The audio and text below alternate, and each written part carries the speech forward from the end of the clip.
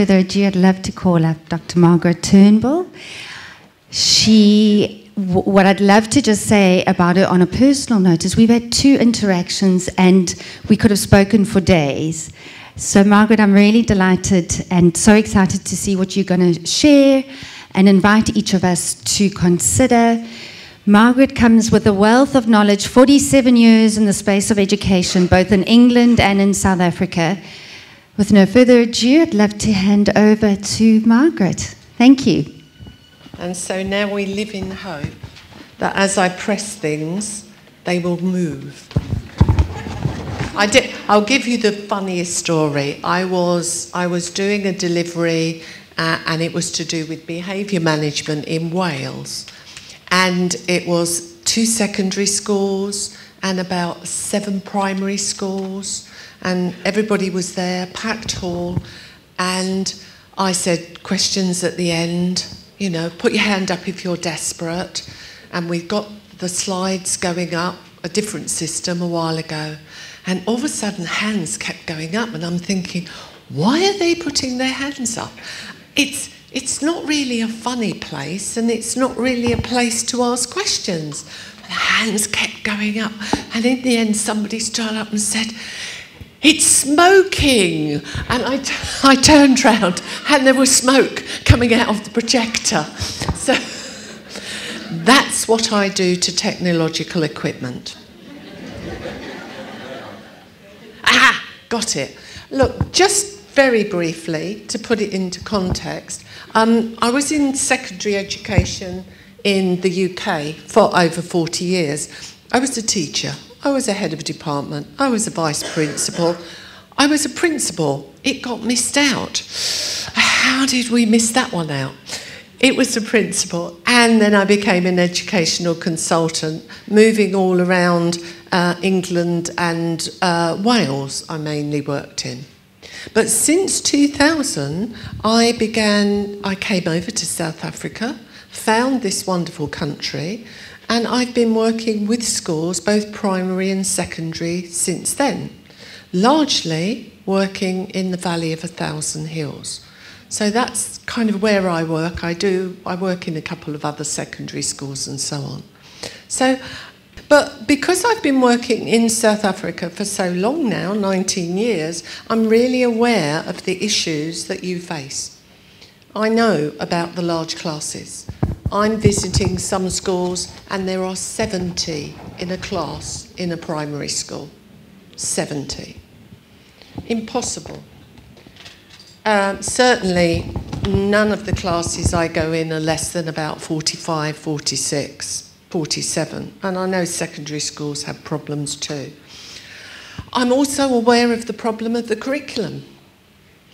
Uh, a content based curriculum that leaves you feeling you've got to run through every page in the book and tick every section, which means the children who can't quite keep up just get left behind. You don't have to do it like that, actually. But anyway, another problem. And therefore, you have classes where more and more of your learners are actually unable to keep up. They're not even learning to read and write properly. And they're entering secondary school unable to read and write. And then people blame the secondary schools when they don't get the matric results. We all know why not, because it's not happening in the primaries, because you can't teach reading and writing with 60, 70 in a class. So these are the problems I'm well aware of. Plus, when children get left further and further behind, they become naughty. They've got nothing else to do. You know, it, and if you're a boy, you've got this thing called my macho self. You know, I've got street cred here. I'm not going to let anyone see that I don't understand. So before anyone asks me, I'll just be naughty. And then I'll get told off. And that's fine for them. But it isn't. Because they desperately need the education you can provide for them. Behaviour seems to be the key issue according to the media. I would disagree. You're seeing poor behaviour largely because of the problems the children are having with coping with learning. That's the root cause of the problem. And in fact, many times in England, I was brought in by the Department of Education or a local authority, like a province, to go to a school because they said, There's a behaviour problem there. We need you to go and investigate. Tell us what's going on. Try and sort it out. You can go in, training. I do training in behaviour management too. And I went there and I spent two days and I went in the classes and I sat there and I watched and I listened. And by the end of the second day, I thought, I'd be badly behaved if I sat in those classes too. They were inaccessible for the children. So, yes, there are children with real behaviour issues, no question about it. But if we can improve the quality of our teaching and learning, we will diminish those problems. Because young people want to learn. Like the film you just saw. Those children are born with inquisitive natures. They want to learn, they want to find out, they want to progress. If we can hang on to that, they will move forward. They will do those things. It's when we lose them and leave them behind that there is a problem. So, what I'm talking about today is about curriculum issues. It's about differentiation. Well, what is differentiation? Well, very basically, differentiation is providing opportunities for learners of all abilities to participate in the lesson, both orally and in written form. And you want them to be successful. That's it. It's that simple. But it's also obviously that complicated because it means we have to plan how we get those opportunities for those young people, for the very bright ones for the ones in the middle, for the ones who are struggling.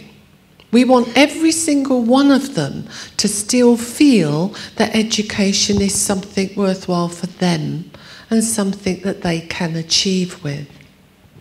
It's helping those learners, all learners, to develop their self confidence. It's about maintaining their desire to learn. It's about maintaining their engagement in learning. And that, as teachers, is what we're about, isn't it? That's why we wanted to be a teacher. And even though we climb the higher levels and become heads of department, vice principals, and principals, actually our job is to make sure the school we're working in is a learning environment where everybody learns. Teachers are learning, students are learning, if we can, parents are learning. Somewhere where we want to go as a community and work together. So, as a good teacher, I have to really think now about what I'm going to uh, ask you to do because teachers don't spend an hour talking to a class, do they? The aim is to get people to participate. And in participating, uh, that is what I want you to do because in participation, that is what we actually, um, it, that's how we learn. It's that conversation between teacher and child. It's that interaction that aids learning. Um, I was working in a school with some students actually just uh, a week or so ago, and there were two brilliant lessons that went on. Those children will never forget. One was doing kinetic energy. For the scientists, they were running up and down. They were outside, they were running, they were checking things, and they were, you know, they knew what kinetic energy and what else was. And for another group, very simple, basic group, they were doing shapes. Shapes outside in groups of four, call out square, and they have to form a square. Call out rectangle, they have to form a rectangle. They were actively creating the shapes with their bodies. And then you were able to, I mean, the, the children doing it were able to shout, shout out the name, and these children got into the shape. They knew it, they'd never forget it. So, getting young people participating is a real key to learning. And if we think about it, we don't need computers, we don't need masses of equipment. We just need to think how can we do it? How can we get them up? How can we involve them? So, it's your turn to be involved. Um, but basically, one first, the first means of providing differentiation is to actually look at um, questioning.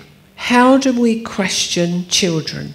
So, I basically am going to suggest to you that what you do is you divide children into three groups.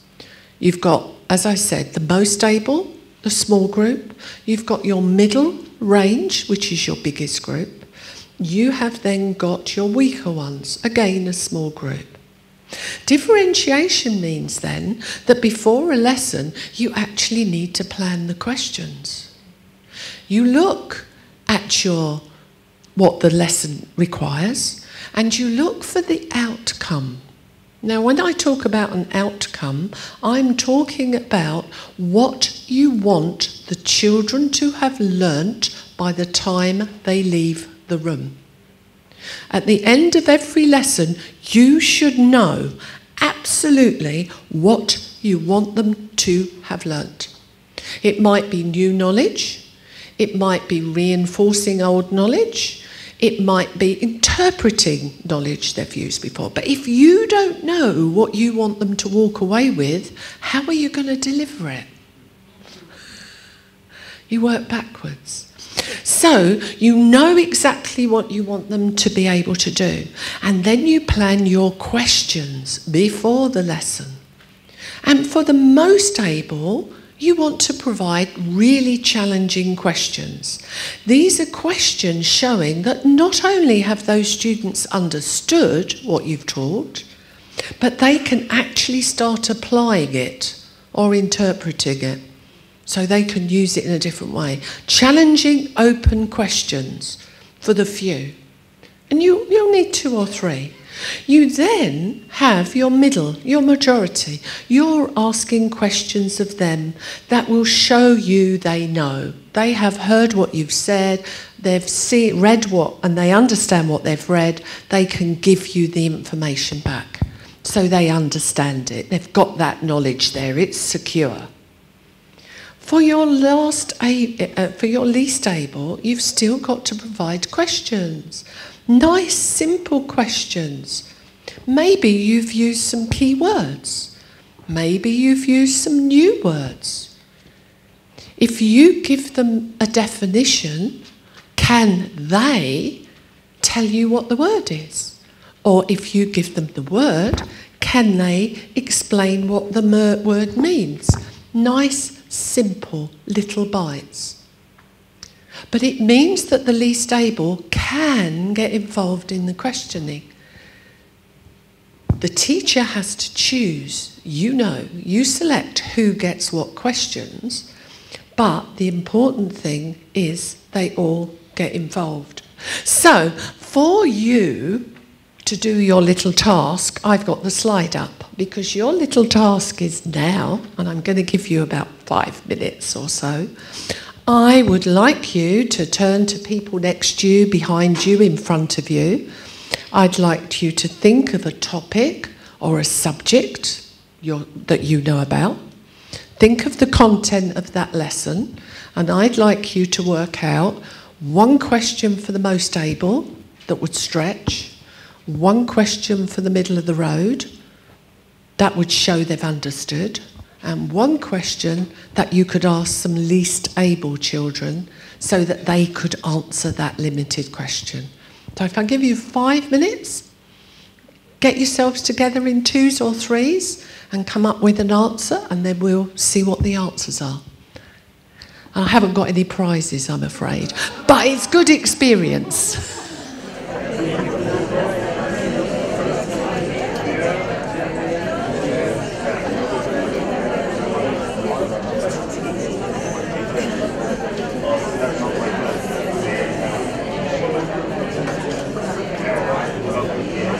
Right, that is technically time.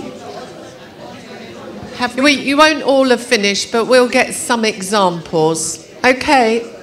And that was modelling another technique in teaching that, of course, is very useful. And I'm always surprised how many teachers, uh, when I walk in, don't do this. And I'm talking about the UK as well.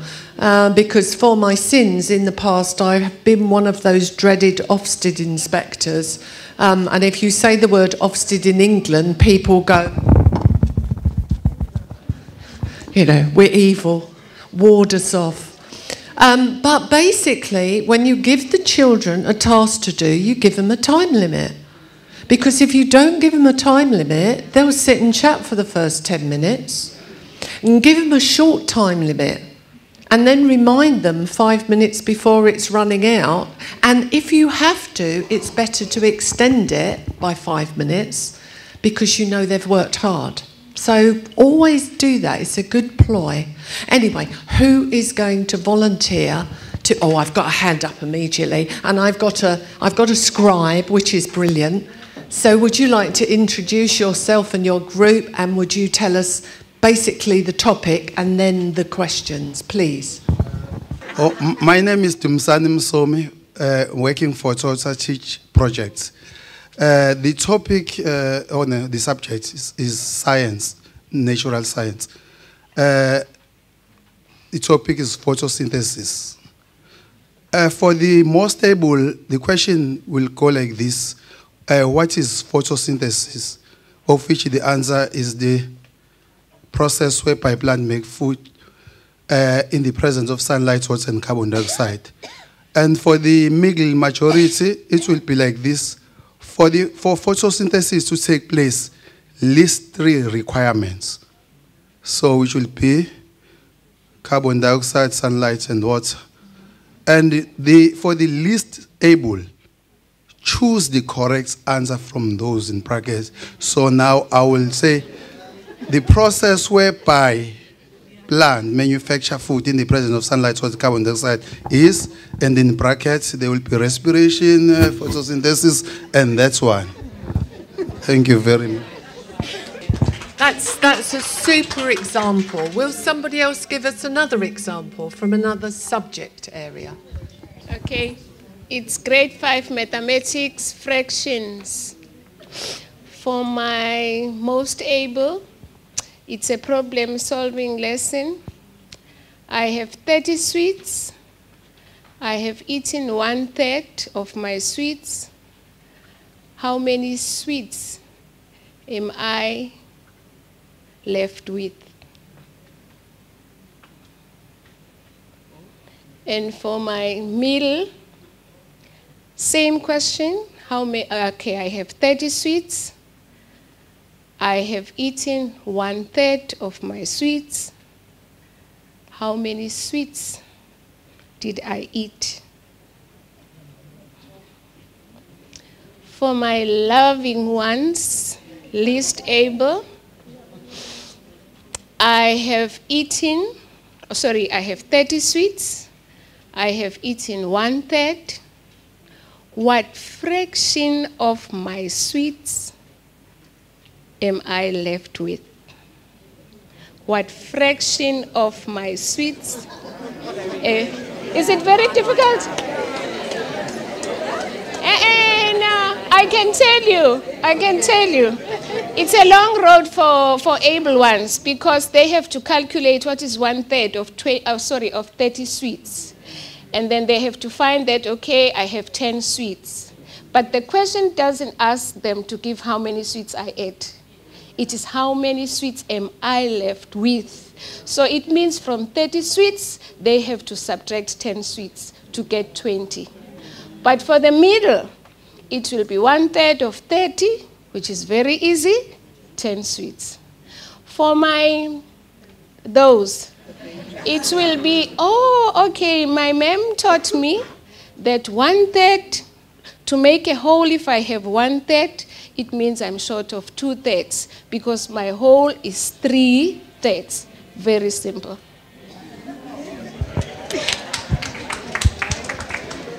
And do we have one more? Oh, brilliant, thank you. Hello, um, I'm from Summerfield Primary, and uh, we're doing an English lesson with the grade fives. It's from our blue book, and uh, we actually did it today. It's called uh, The Biography of Nelson Mandela. So, for our least able, we could ask, Where was Mandela born, or when was Mandela born? For the average, we could ask, As a young boy, what dreams did he have? Like to become a lawyer and to help people or to support people. And for the bright, we could say, Do you think Mandela was a good leader? Give reasons. So that would cover that quite nicely.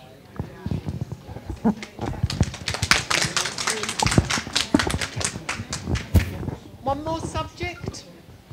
Have I? Yes, you just want to see me running. I did run the other day and fell flat on my face, actually. I have the bruise to prove it. Hello, I'm from Siposetu. We took a life skill lesson with the grade twos. Topic is transport. For the most able, why do we need transport? For the middle ones, give different kinds of transport. And for, the, and for those,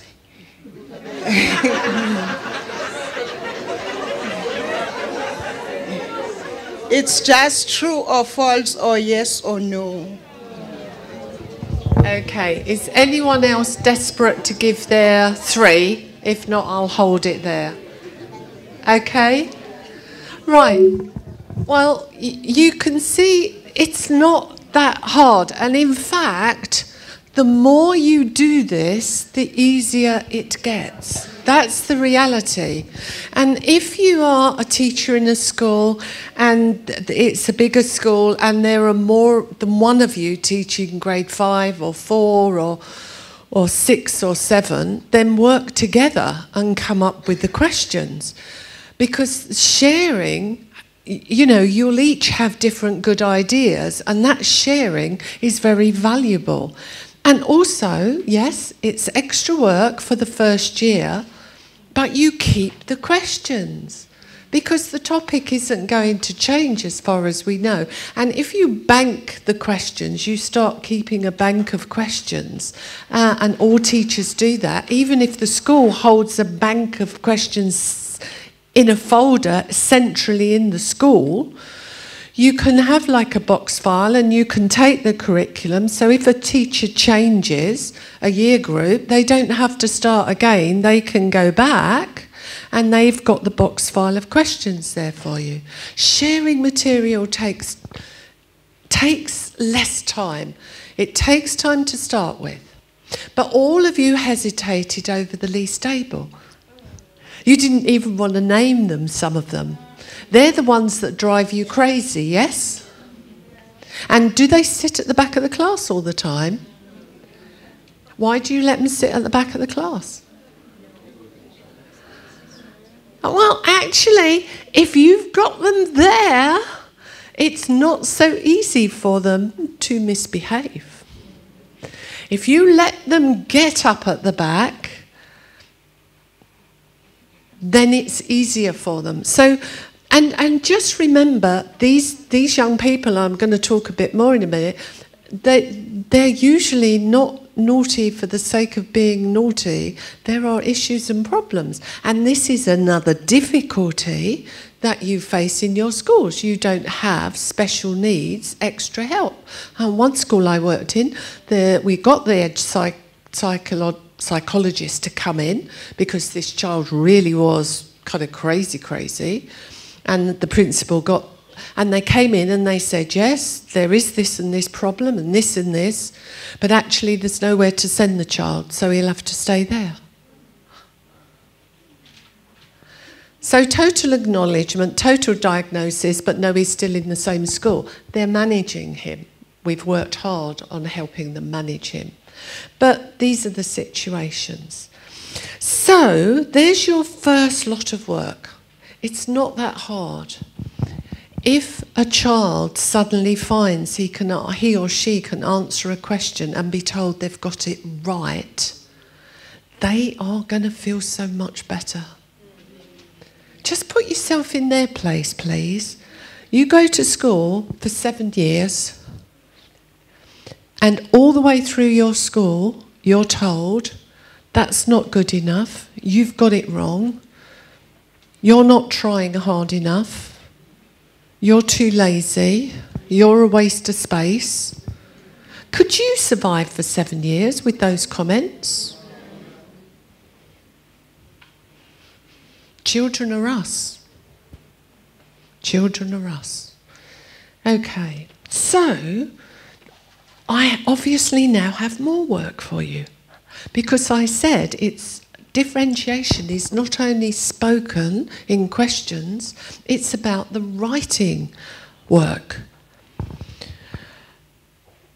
The most able when you're producing written work for them to do need open ended questions.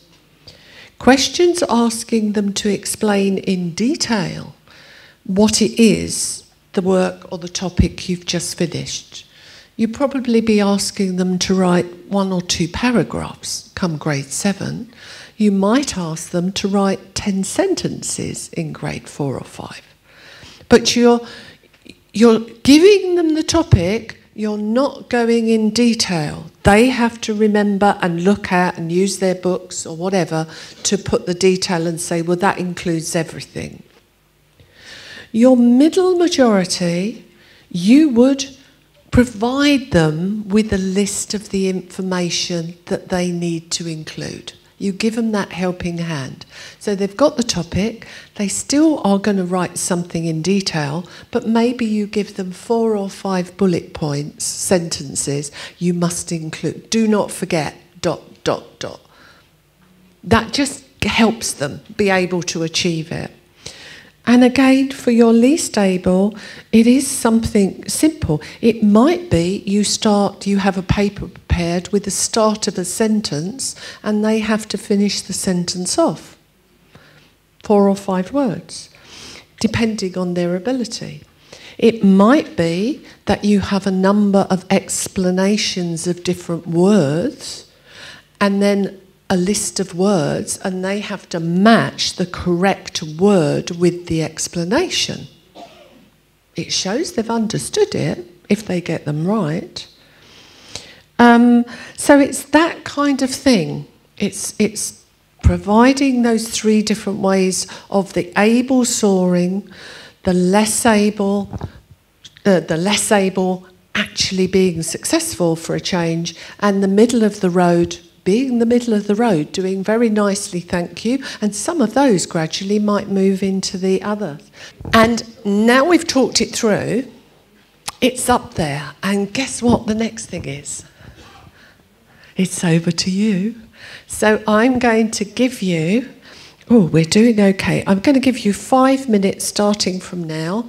Try and identify a written task for a subject or a topic. Work with the same people if you like, use the same lesson or a different lesson, but instead of this being a task that you would talk to them about, this is a task they sit down and write. They have to do it in writing. Okay, so five minutes. Might be nice to choose a different subject, but it's up to you.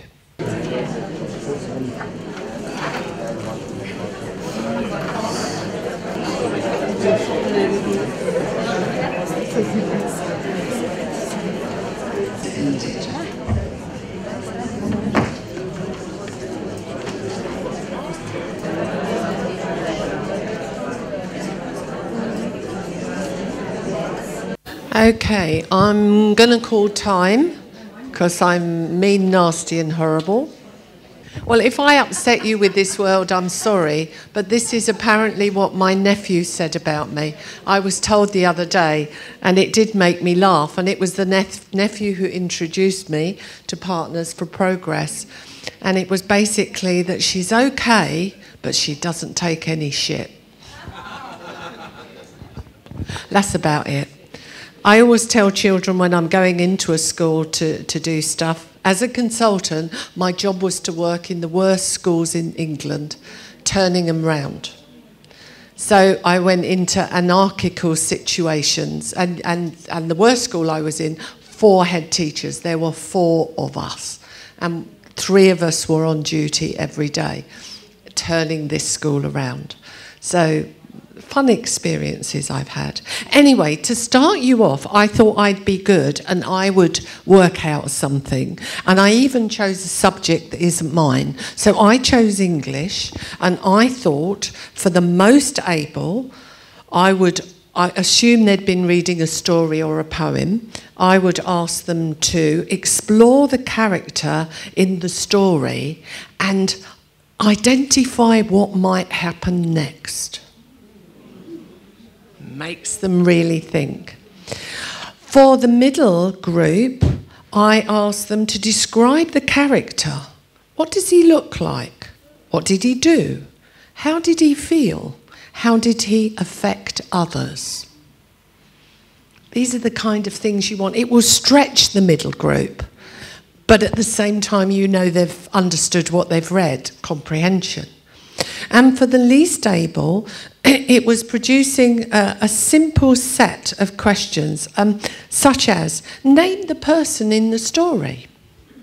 What clothes did he wear? What was the colour of his hair? Was he happy or sad? I was picking out questions that might kind of lead to that exploration, and I thought mm, that would kind of work. So I've given you mine.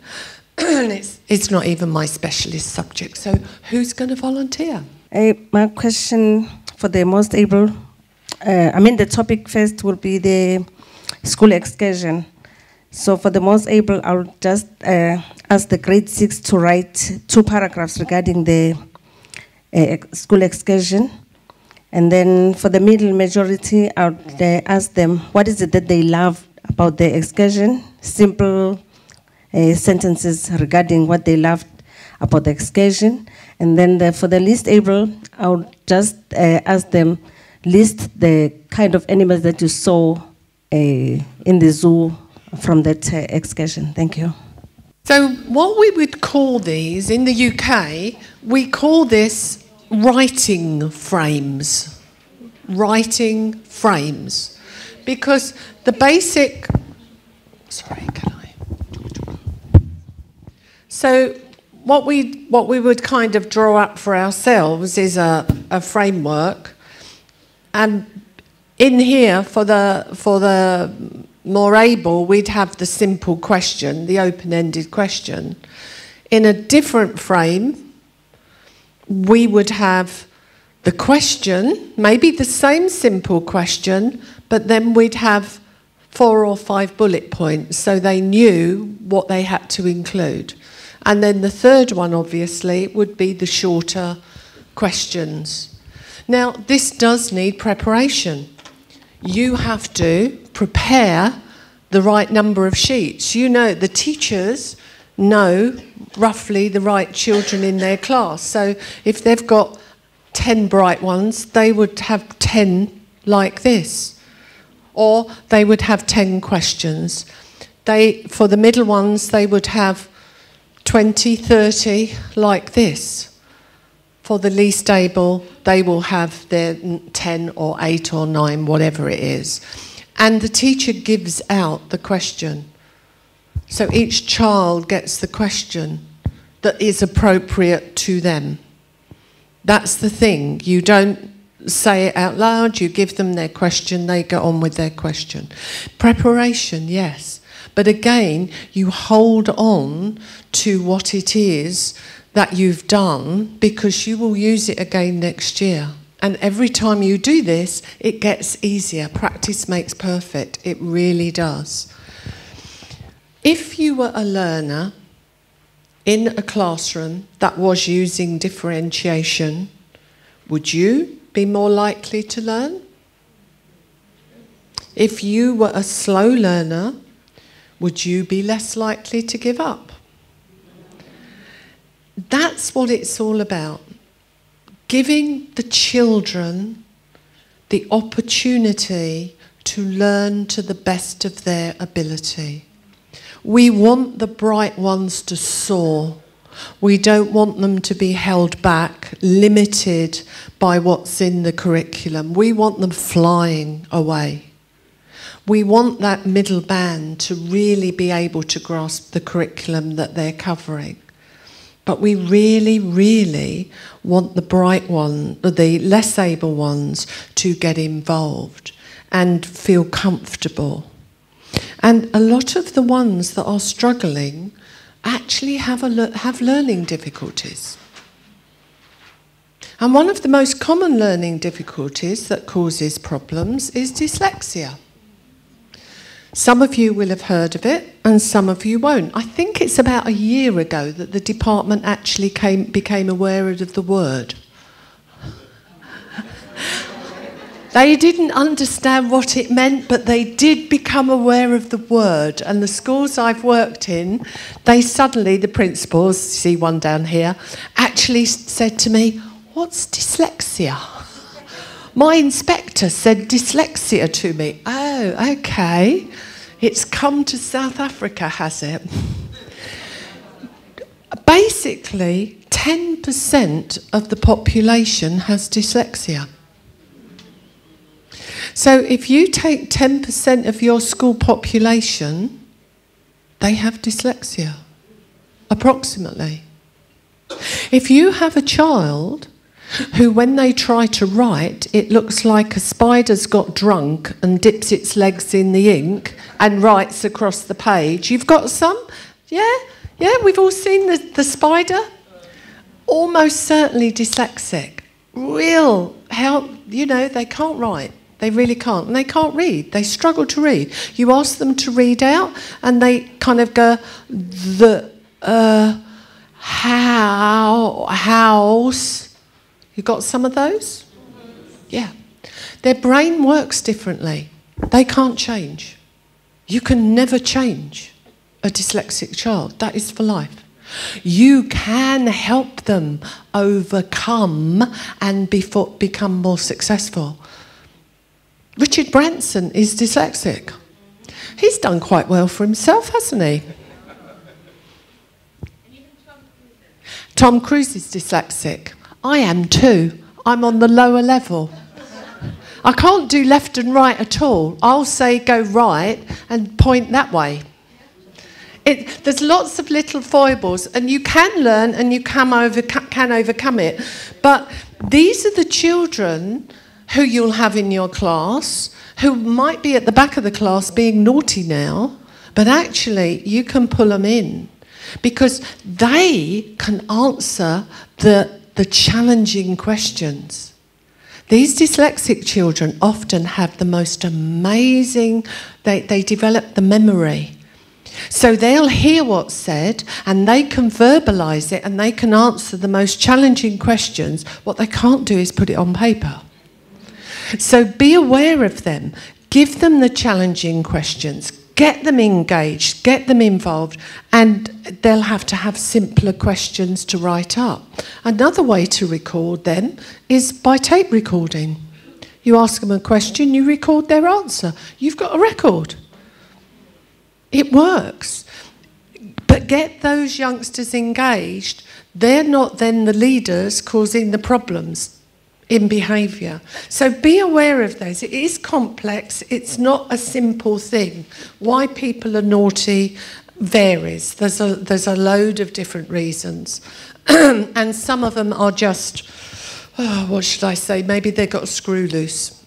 You come across, I came across two in 40 years in education. Two. Only two. But there you go. So finally, all I really want to say to you is Um, principals, vice principals here, heads of departments, sometimes we do get bogged down in management and paperwork issues. We think it's all about, you know, churning out the bits of paper. We think it's about making sure we're um, getting our school looking good. It's about making sure we've got the buildings secure. Yes, it is to a degree, but the primary task of you and your team at any level is to ensure that learning is taking place. You can have, you can work in a field if all your teachers are focused on learning and you are working with them and they can learn. You can have a brand new spanking school and if the teachers are in conflict and not bothered about really teaching the children and learning, there won't be any learning in that school. It's the people that make the place. Uh, and often, what, what I say about teaching is it's a bit like being a fisherman. It's fishing. Sorry, ladies, we're not into fishing. I'm sure some men are.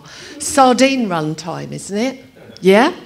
So it's a bit like fishing because you're out there hooking them. Once you've hooked a child and you've got it, you've got it for life. Once it's hooked on learning, it won't stop. You've got it. So go out and be fishermen, not of men, but of children.